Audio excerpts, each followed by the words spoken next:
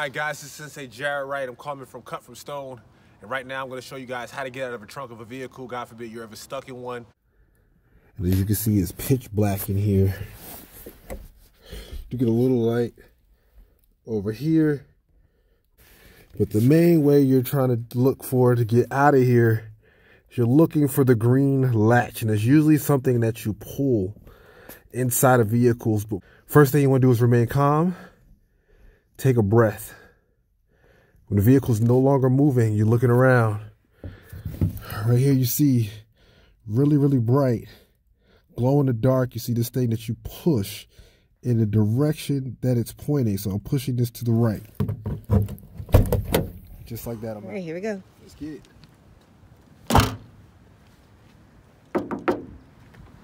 There's a car. Pull that way.